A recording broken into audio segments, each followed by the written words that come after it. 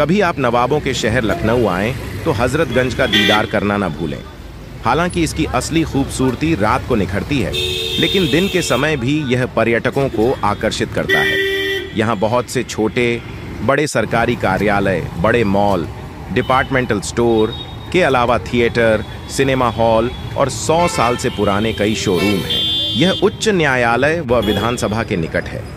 इसे एक business hub के रूप में भी जाना जाता है। यहाँ कई बड़े अस्पताल और प्रतिष्ठित शैक्षिक संस्थान भी हैं। यह वह इलाका है जहाँ आप कभी भी अपने दोस्तों के साथ आकर कुछ वक्त आराम से गुजार सकते हैं। आइए इस वीडियो में देखिए। दोपहर के वक्त हजरतगंज कैसा लगता है?